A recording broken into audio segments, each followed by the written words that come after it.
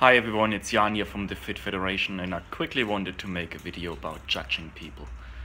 Um, now, like you see it so many times, um, especially guys about other guys or so, or um, yeah, guys about females, it's usually, oh, she's too fat and she goes to the gym and still too fat or something like that. Or um, guys that are you know people that are only just started working out or younger people um, trying to gain some muscle.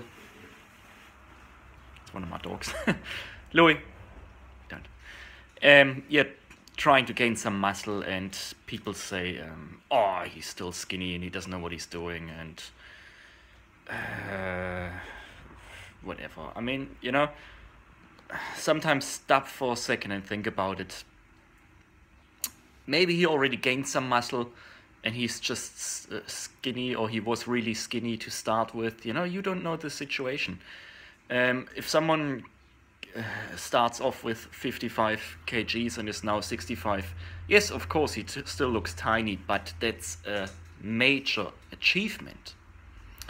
So, um, who are you to judge this guy and say, hey, look at your spaghetti arm or something like that, you know?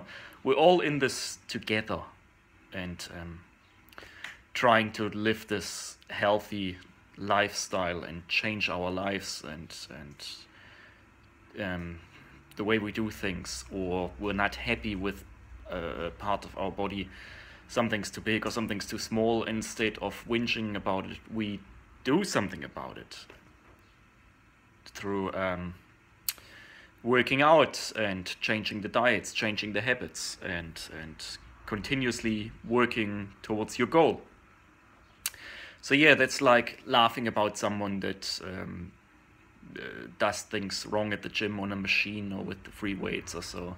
You know, rather than laughing, you should um, you should approach those sort of people and say, hey let me show you something quickly. This is how it's done. And um, because we all have to start somewhere and we all um, made mistakes at some point and it's all a learning curve. But yeah, it's always those, as soon as, uh, as one guy is bigger than the other one, it's just easy to laugh about him and to judge. And I just find that, I just find it disgusting, you know, it's just shocking. Yeah you don't know the situation. You don't know that he's got maybe um, horrible genetics.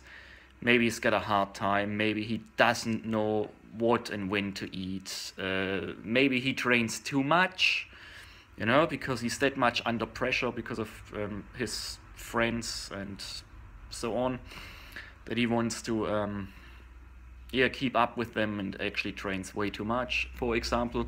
Or maybe he's a is a student or whatever doesn't have the money to um, eat enough calories or to um, afford supplements, something like that. You never you never know the whole situation. So um, maybe sometimes just take a step back and and think about rather than hurting other people.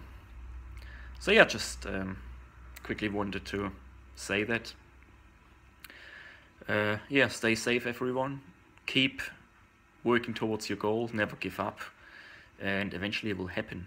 So, yeah, we're all in this together, one big uh, fitness lifestyle family, so support each other. Take it easy. Bye.